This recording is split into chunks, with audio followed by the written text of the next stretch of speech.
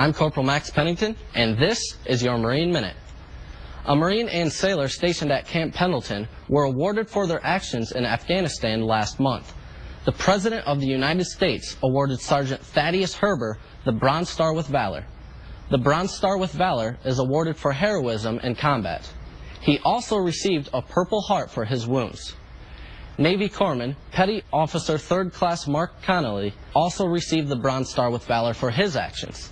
Both the Marine and sailor exposed themselves to enemy fire to save a wounded Marine's life.